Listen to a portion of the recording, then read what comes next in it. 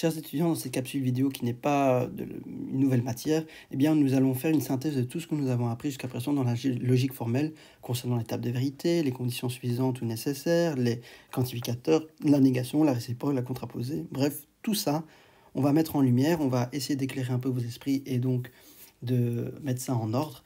Comme ça, vous allez retenir les choses essentielles de tout ce qu'on a appris, en tout cas de la plus grande majorité du chapitre 3 de raisonnement. Et donc, pour rappeler l'étape de vérité, donc, si vous avez bien compris le concept, on euh, on va pas trop s'attarder, mais je me permets de rappeler, donc, conventionnement, le vrai, on représente par 1, le faux par 0. Et donc, le nom A, ça veut dire quoi? Bah, La négation de A, bah, ça veut dire que si on veut trouver la valeur de vérité de nom A, bah, c'est toujours l'opposé de la valeur de vérité de la proposition A. Donc, non A est vrai si A est faux, et dans le sens inverse, non A est faux si A est vrai. Donc on inverse juste la table de vérité. Alors pour A, ou, A et B, donc ça, ça veut dire A et B, donc A et B vaut 1 uniquement si 1 et B vaut 1. Donc A et B, tous les deux sont vrais. En effet, regardez, euh, le et, on avait un peu associé au symbole mathématique de la multiplication. Donc A fois B doit donner une certaine valeur. Donc si euh, un des deux vaut 0, eh bien, euh, la multiplication par 0 va donner toujours 0. Donc, c'est-à-dire que si un des deux euh, est, faux, eh bien, euh, le résultat est faux. Donc, il faut absolument que les deux soient égales à 1. Donc, c'est-à-dire qu'il faut que tous les deux soient vrais pour que la, la, signification de la vérité de A et B soit vraie. Et pour A ou B, eh ben, A ou B, ici, A ou B, on, on l'avait associé un peu comme l'addition en maths. Donc, Si tous les deux sont, euh, sont faux, eh bien ça fait 0 plus 0, donc ça donne 0, donc A ou B est faux. Euh, si tous les deux sont vrais, bah, A ou B, donc 1 plus 1 est égal, soi-disant à 1, enfin c'est vrai que ça vaut 2, mais on va dire que c'est en tout cas pas égal à 0, donc c'est vrai. Donc A ou B est vrai si tous les deux sont vrais. Et si un des deux est vrai, donc 1 euh, plus 0 ou 0 plus 1, donc A est vrai, B est faux, ou dans le cas inverse, A est faux et B est vrai, dans les deux cas, euh, au moins il y a un des deux éléments qui est vrai, donc d'office que la réponse sera euh, vraie. Et donc pour l'implication, ben, ça c'est toujours égal à 1, sauf, sauf, sauf, sauf si A est vrai et B est faux. ok? Parce que si A est vrai ou A est faux, on peut toujours déduire euh, l'implication, mais en tout cas, si A est vrai et que B est faux, c'est impossible dans une application. On ne peut pas, à partir d'un truc vrai, euh, conclure, déduire euh, d'une application un truc faux. Donc ça, c'est juste à ça à retenir. Euh, si on retient juste ça, c'est facile pour la table de vérité. Et alors A si et seulement si B, ben, ça veut dire que A et B ont la, même signification en termes de table de vérité, sont complètement équivalentes. Donc la table de vérité de A est la même que la table de vérité de B. Donc euh, que l'un soit vrai d'office que l'autre est vrai. que, et si, A est vrai, donc d'office que B est vrai. Si euh, A est faux, alors euh, B est faux. Donc en fait, ils ont le même, la même valeur. Donc voilà. Donc donc l'équivalence est vraie à condition que tous les deux ont la même, euh, la même valeur. ok? Si A est euh, vrai et B est faux, ou dans le cas inverse, si A euh, est faux et B est vrai, bah, cette équivalence ne vaut pas 1. ok? Cette équivalence n'est pas, pas vraie parce que normalement l'équivalence, ça doit être le même, la même valeur de vérité. Voilà. Et la loi de Morgan, donc on avait dit, si on, transforme les et par des ou et les ou par des et, donc euh, les et par des ou et les ou par des et, et on applique la négation terme à terme. C'est juste ça qu'il fallait retenir. Ok, donc euh, nom de A et B, là en fait c'est nom de A ou nom de B, et le nom de A ou B, en fait c'est la négation de A, et le ou devient un et, donc et non B. Très utilisé à l'examen c'est très important parce qu'on l'utilise beaucoup dans l'exercice euh, à l'examen d'entrée. Donc la négation équivalente, la loi de Morgan. La contraposée, très important à l'examen, ça vient très souvent, on l'utilise beaucoup aussi dans l'exercice de logique formelle. En fait, la contraposée, c'est l'équivalent de P implique Q. Donc P implique Q, ben son équivalent, en fait, c'est la contraposée. C'est à la fois la réciproque avec la négation terme à terme. Donc ça veut dire qu'on inverse euh, P et Q, en fait Q implique P, on inverse, donc la réciproque, et en plus de ça, on rajoute des négations terme à terme, donc c'est-à-dire non Q implique non P. Ok, donc rappelez-vous, euh, si je suis malade, je reste au lit. Donc si je suis malade, je reste au lit. Donc M implique L, donc reste de M malade et L lit. Donc si M implique euh, lit, donc si je suis malade, alors je reste au lit. Bah, L'équivalent de cette phrase, il faut faire la contraposée avec la négation terme à terme et faire la réciproque en même temps. Donc, euh, l'équivalent de cette phrase est euh, si je ne reste pas au lit, alors je ne suis pas malade. Voilà. Donc ça, c'est euh, tuyau, tuyau, euh, ça, ça, vient à l'examen très souvent. Il faut, enfin, à l'examen, on l'utilise très très souvent. Donc un énoncé est équivalent à sa contraposée. Alors, l'assertion non P ou Q est l'autre forme de la notation P implique Q. Et ça, c'est important à retenir aussi. En fait, tout ce que je suis en train d'expliquer dans cette vidéo, c'est tuyau d'examen. Donc euh, voilà, la capsule euh, vidéo ici est majeure. C'est que une autre manière de dire que P implique Q, c'est non P ou Q. Et de même, je me dirais que non de P implique Q, comment on trouverait la négation d'une implication? Eh bien, en fait, c'est euh, la même chose de dire donc P implique Q, c'est non. P ou Q, ok, on change, et alors on applique terme à terme la négation hein, par la loi de Morgan, et donc le OU devient un E, et alors nom de nom P, ça fait P, et le nom de OU, ben, c'est E, et le nom Q, ben, c'est non Q, et donc c'est ça. Et donc à la fin, ça va faire P et non Q, et la négation, et la négation de l'implication. Ok? Donc, retenez ça, non P ou Q et l'équivalent de euh, P implique Q et la négation non P implique Q, ben, vous faites juste la loi de Morgan, mais vous retrouvez P et non Q. Et alors ici, voilà, donc non de non, ben, moins moins donne plus, donc forcément on fait non P de non P, ben, donc non P, vous mettez non de non, non de non P, donc on annule la négation, moins et moins donne plus, et donc euh, à la fin ça va donner P. Donc voilà, nom de nom de quelque chose, ben, ça donne la forme suivante. Alors il faut ici, qu'est-ce qu'on doit retenir? Ben, En fait, P et Q, ben, il y a peu importe le sens, il n'y a pas de sens euh, particulier. P ou Q, on peut inverser aussi, le et ou aussi la même chose. Loi de Morgan, ben, non P et Q, ben, non P, non Q, et le et devient un ou. Euh, le ou devient un et, et alors on applique la négation terme à terme. Et alors, Ici, euh, la fameuse contre-imposée, donc P implique Q, c'est en fait inversé, donc réciproque plus négation terme à terme, donc c'est non Q, euh, donc non Q implique non P, et bien sûr on inverse, euh, donc le P implique Q, ben on inverse c'est Q implique P, mais bien sûr n'oublions pas les noms, les noms devant. Et alors, ici, ça, ça à retenir, c'est la distributivité, donc P et parenthèse Q ou R, ben on distribue et donc on a P et Q. Ça c'est le, terme ici euh, et. Donc on a P et Q ou P et R. P et R. Alors ici on a P ou Q, bon, on distribue. Ça va faire P ou Q et P ou R. Ok Donc ça c'est de là à bien retenir.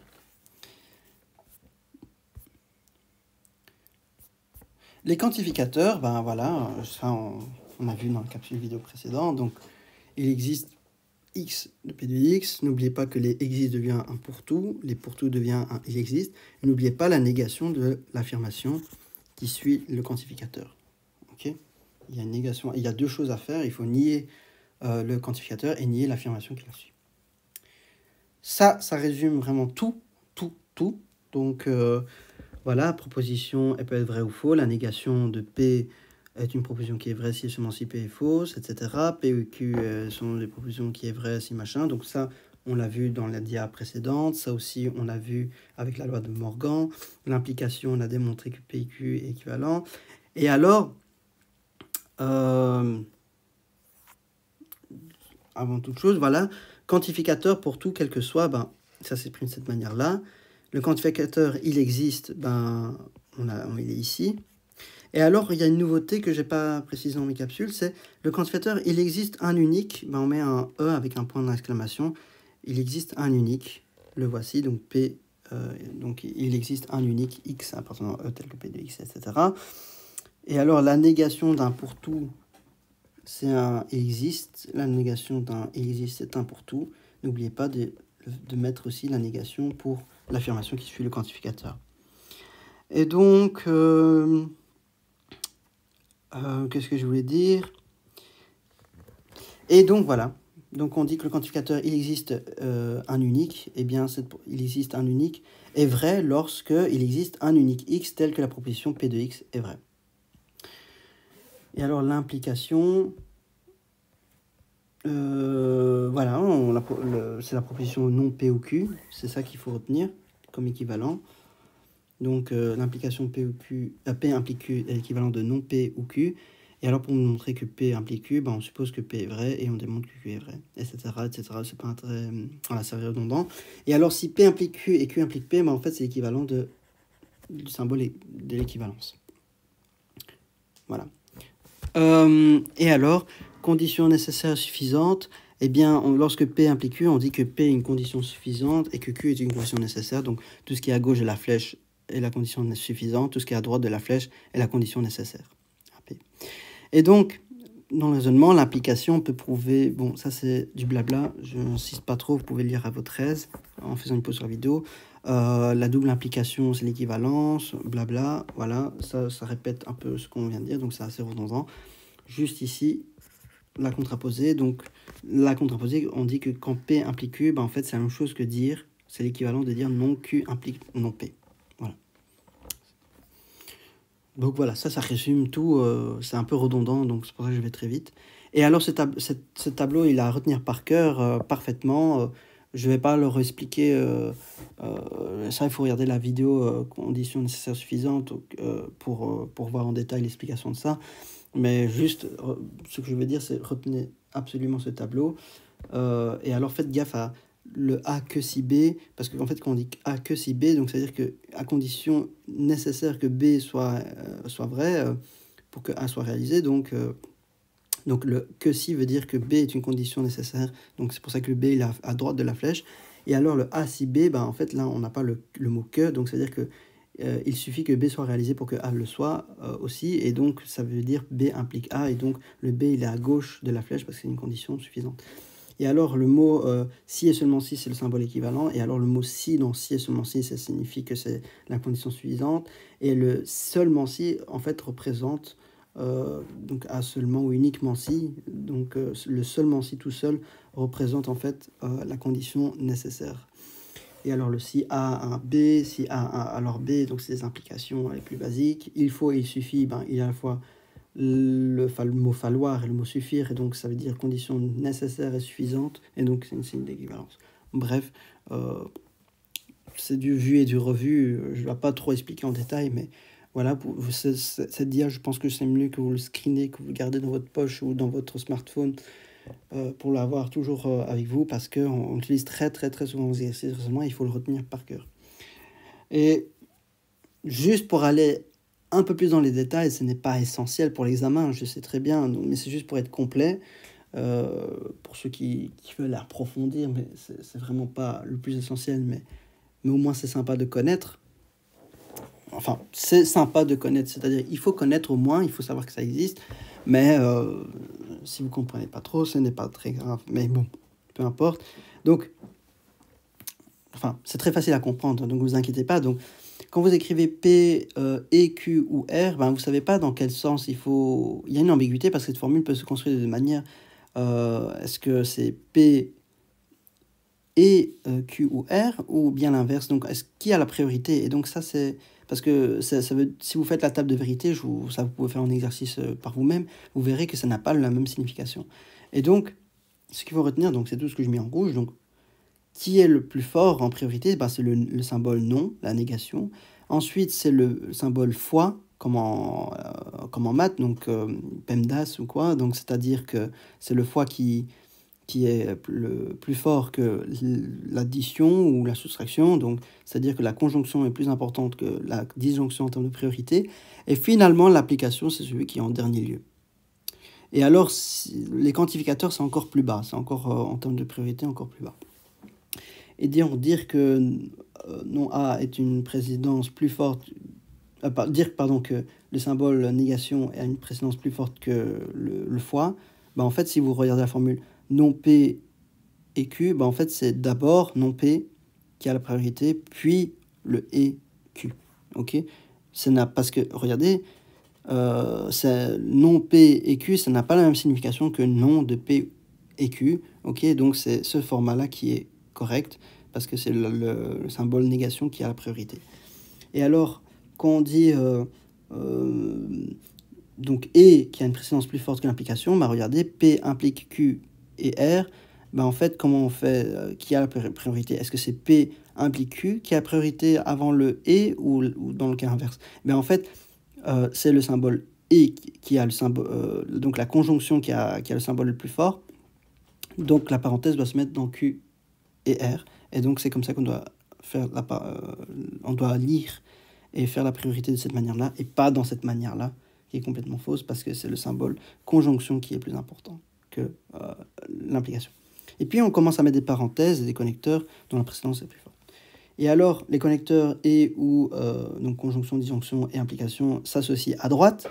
Donc si vous voyez ce format-là, vous dites ah comment je, je lis ça? Est-ce que je commence d'abord par P implique Q et puis euh, j'implique le R? Ben non, la parenthèse se fait d'abord de droite vers la gauche. Donc, c'est-à-dire que c'est d'abord à droite que ça commence. Donc, Q implique R. Et puis, on lit après le P. Donc, pas à l'envers, c'est pas possible. Un autre moyen, un autre, allez, une autre chose à dire, si vous avez A et B et C ou D, ok, comment on va faire ça en ordre? Bah, En fait, euh, euh, eh bien, qui a la priorité? Eh bien, c'est le A, B et C. Et donc, euh, on fait association à droite. OK? Donc, c'est A et B et C. OK? Ou D. OK? Et ensuite, on fait A, parenthèse, B et C. Euh, voilà, accolade fermée, ou D. Donc c'est comme ça qu'on le lit. Ok Voilà. Donc le, le, le, E est plus fort, et alors on commence d'abord de la droite. S'il y a deux, il y a une ambiguïté, il y a deux, euh, éléments qui sont de la même force. Donc, là, qu'est-ce qu'on fait? On, associe euh, de la droite vers la gauche. On commence par la droite. Donc ça s'associe ça, ça, s'associe à droite. Ok voilà. Mais alors attention, euh, lors des parenthèses, ne change pas le sens de la formule dans les connecteurs euh, et ou ou. Donc, euh, mais, ça, c'est pas très important. Mais en tout cas, sachez que P implique Q ou R, ou en mettant la parenthèse de l'autre côté, ne disent pas du tout la même chose. Donc faites attention, on commence par toujours par une association à droite, sauf si c'est indiqué, sauf on vous le donne tel quel, on vous, on vous impose la parenthèse, ben, vous devez suivre de cette manière-là. Mais par défaut, si on ne vous dit pas où est la parenthèse, la parenthèse commence toujours de la droite vers la gauche. Et alors, un exemple ici, si P et R et non Q, ben, qui est prioritaire? Ben, D'abord, c'est la négation qui est en premier. Et ensuite, vu qu'il y a deux éléments de même puissance, il y a deux euh, conjonctions de même puissance, ben, on commence de la droite vers la gauche. Donc, c'est d'abord non Q, puis R et non Q qui est prioritaire, et puis on a le P qui s'amène après. Et donc c'est de cette manière-là, donc non Q qui va subir la parenthèse, puis R et non Q qui forment une parenthèse, et en dernier lieu, P et quelque chose, et tout, ça, tout ce blabla-là, et donc voilà, ça vous donne tout ça. Donc, donc voilà, c'est ça qui, que je vais juste insister, donc il n'y a pas plus que ça à connaître. Et alors, oui, comme je disais, les quantificateurs pour tout existent à une précédence plus faible que tous les opérateurs. Et donc quand on fait pour tout x, P implique Q, ben, qui est prioritaire?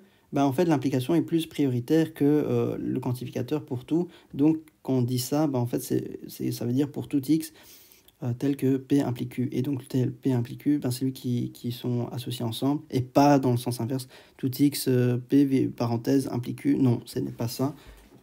C'est ce format-là, donc parce que l'implication est mm, prioritaire sur les quantificateurs. Voilà, c'est tout ce que j'avais à dire dans ces capsules. Et donc, euh,